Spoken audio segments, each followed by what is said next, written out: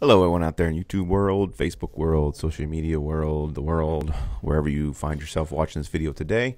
I am your host, as always, Musings with MGL, uh, bringing you another edition of riveting uh, legal stuff, uh, firearm stuff, uh, conservative stuff, etc., etc. Today, I'm going to do a video on some interesting crime statistics that were just released recently by the FBI uh, concerning violence in America. Uh, before I get into it, if you could do me a favor and smash that like button down below, it really helps the, uh, the channel grow. Subscribe if you haven't subscribed. Please share, comment, recommend all your friends. I'm getting really close to a thousand subscribers. It'd be really great if I can get to that uh, before the end of the year. When you hit a thousand subscribers, you can start getting some of that sweet, sweet, sweet ad money from uh, YouTube, although I'm not sure if they'll approve me because of my content, but I'll give it a shot anyway. But it'd be really cool to get to a thousand subscribers. So if you haven't subscribed, uh, please do. So today I'm going to talk about some crime statistics that were released recently from the FBI, and I'm going to get it basically from an article here brought to us by our friends over at Breitbart.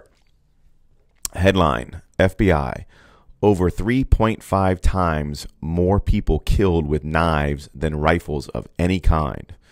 So, FBI data released Monday and the Uniform Crime Report show over three and a half times as many people were stabbed to death in 2020 than were killed with all kinds of rifles combined. Think about that again. We're not just talking about the quote assault rifles that everybody talks about, but it's all rifles combined. The Uniform Crime Report shows that 454 people were shot and killed with rifles in 2020, while 1,723 were stabbed or hacked to death with knives or cutting instruments. I think if I had to choose between rather getting shot to death or hacked to death, I'd probably go with uh, being shot by a high powered rifle, but that's just me. Um, Breitbart News reported that the previous Uniform Crime Report release showed over four times as many people were stabbed to death in 2019 than were killed with rifles of all kinds. The exact figures for 2019 were 375 killed with rifles, while 1,525 were shot to death with or stabbed to death with knives or cutting instruments. So, why do we talk about this? Well, obviously, it's because we are constantly hounded and being told by the left and the anti gun people that we have to do something about these assault rifles, that they're so dangerous, that they're so deadly. They're the most, most deadly thing ever invented, basically, in the history of inventions, were these assault rifles. And we need to ban them. And, uh, you know, hell yes, we're going to come take them from you because they're so dangerous and they kill so many people. However, obviously, the statistics don't bear that out rifles we and we've known this for a while those of us who are gun people have known for a while that rifles are used far less in essentially any crime in America than almost anything else. I mean, 434 people were killed by all rifles of all kind. That doesn't, again, even include the, the crazy assault rifles. It could include uh, shotguns. It can include hunting rifles, lever action rifles, whatever you want to call it, just rifles in general.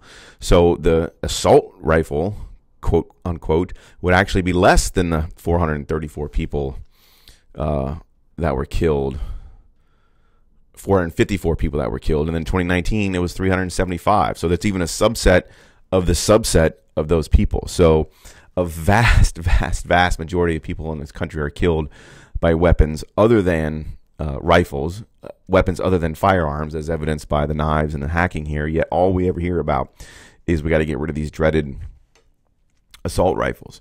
So it's just clear that once again, uh, the science, these are the people that like to follow the science, the science and the agenda don't match the facts. And it's very important when you're going to be either arguing or debating these people when you throw these out there because your, your common person out there just assumes that these assault rifles uh, commit most of the shootings when it comes to firearms because that's all they see in the news, right? All you ever see are these quote mass shootings when they get carried out by an AR-15. If they get carried out by anything other than an AR-15, you don't hear about the story. I mean, you also don't hear about it if they're not carried out by a, white guy with a Trump hat. But essentially, if they're not carried out with an AR-15, if they're done with handguns, you never hear about it. When you, once again, everybody harps on this, but when we talk about Chicago, the majority of people there are killed with handguns. They're not using uh, assault weapons in their gang wars and drug wars that are going on up there. They're usually mostly handguns or regular rifles that you get uh, from from regular stores or, or from other drug dealers.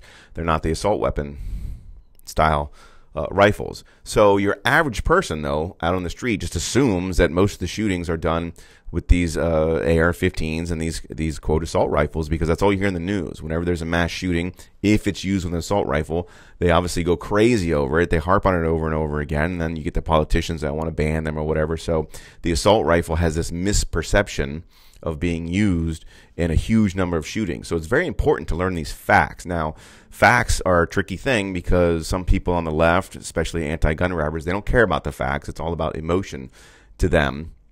But you really can't defeat an emotional argument uh, when it comes to you know kids getting shot at schools or whatever. They're always probably going to win that argument. So the only thing you can fight them back with is facts. And so if you're ever debating somebody or uh, talking to somebody about it and they want to keep saying these things are dangerous, they need to be taken off the street. Statistics are a great weapon because when you throw these numbers back out at them, they don't have an answer for it. It's happened to me at some debates that I've been to um, where somebody throws that out and I throw out the numbers just like this and they, they don't have an answer for that. They either don't believe me and then I point out that well it's coming from the FBI, it's not coming from me, so they either don't believe me or they just don't care and they think that that's that's enough. You know, oh 432 people, even less than that. Well, it's enough if we can just save those those people, but they don't want to have the same rules when it comes to knives and stuff like that. So, uh, arm yourself with the facts is the moral of the story here today. This is a, up on Breitbart. If you want to go to Breitbart and just Google it, uh, you can find the article there. And again, it comes from the Uniform Crime Report, which is from the FBI. So these are the government statistics about what's going on here. They're not made up by the NRA or some pro gun or right wing organization. So do your research, learn your facts, know your numbers, and then next time somebody wants to tell you that these uh, quote scary assault rifles uh, need to be banned because they're dangerous and they kill a whole bunch of people, point out to them that they killed less than 454 in all of last year and over what 1200 or what I say 1732 people were stabbed or hacked to death. And so ask them if they'd rather be stabbed or hacked to death because my guess is their answer is going to be no. So thanks for watching. Quick little video here today about some stats. Um, keep up the vigilance out there. Again, like, subscribe, share if you could. And as always, stay safe, stay healthy. And if you can, you should carry on. And watch out for those knives.